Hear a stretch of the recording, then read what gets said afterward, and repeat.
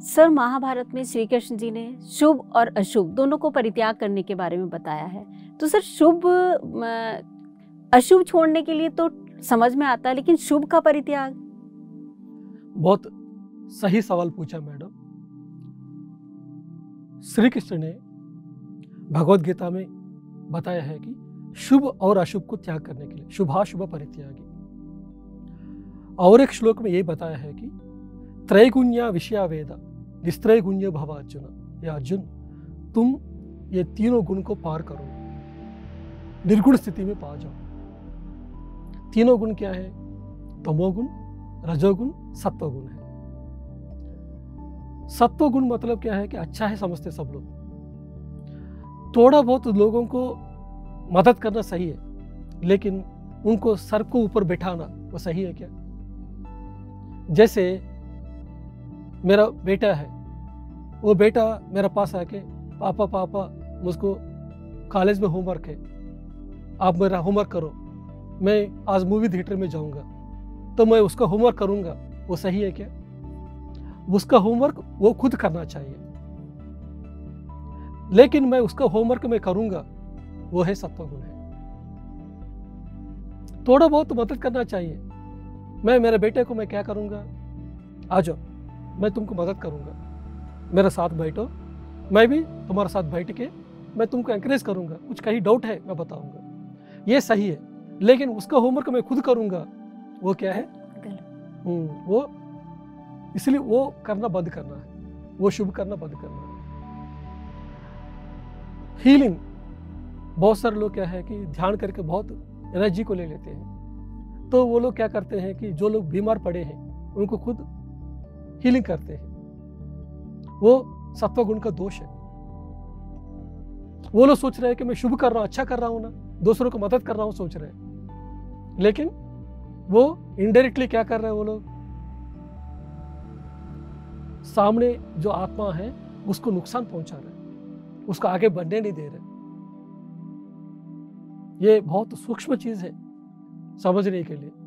क्योंकि दूसरों को जब हीलिंग करेंगे, वो बंदा हमेशा के लिए आपके ऊपर डिपेंडेंट हो जाएगा। वो कभी ध्यान में नहीं आएगा।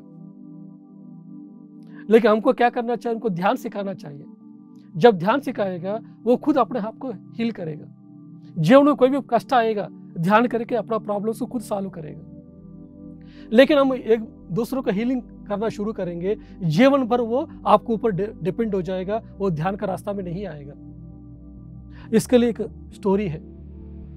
परमहंस योगानंद जी का ऑटोबायोग्राफी ऑफ़ योगी में लिखे हैं। उनका आश्रम में एक हिरन थी। वो एक बार, वो हमेशा अच्छा चलती रहती है, खुशी रहती है। जब परम योगानंद जी नहीं थे उस आश्रम में, उसको कोई चोट पहुँच गया था हिरण को। फिर उसको देख के बाकी आश्रम के जितना लोग हैं अच्छा नहीं लगा।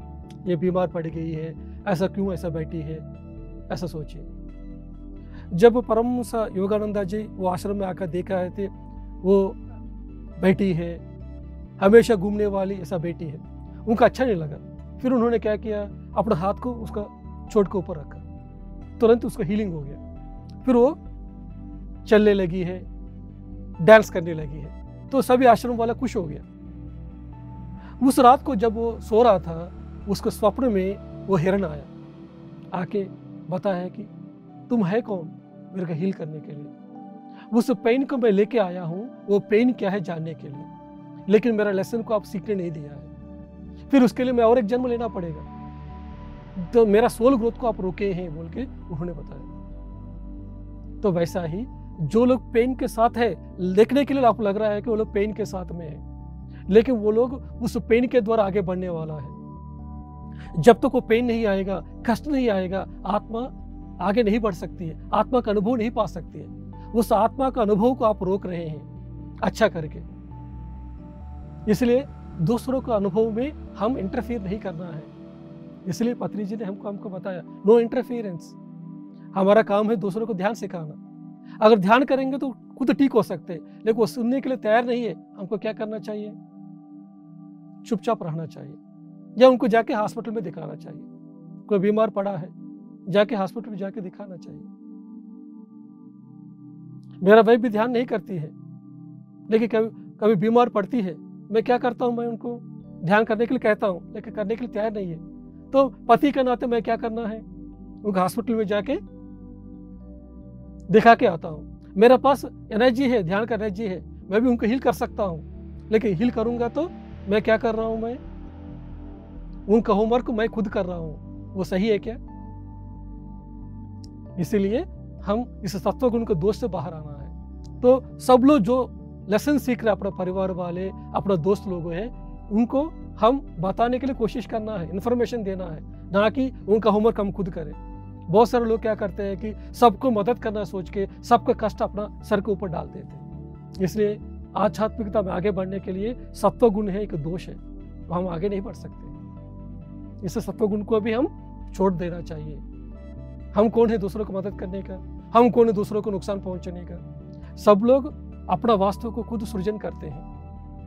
धरती में आने के पहले खुद प्लानिंग करके आते हैं। मेरा इस जीवन में दस साल में ऐसा होना है, बीस साल में ऐसा होना है। मेरे जीवन में ऐसा सुख आना चाहिए, ऐसा कष्ट आना चाहिए। सब कुछ हम डिसाइड करके धरती में आ रहे हैं। बीच में हम कौन है जाने के लिए? हमारा काम है ध्यान सिखाने का। अगर वो आना चाहते, ध्यान में आना चाहते तो वेल एंड गुड है। नहीं आना चाहते तो क्या करेंगे हम? नमस्कार करके वापस आएँगे। बस हम इतना ही काम करें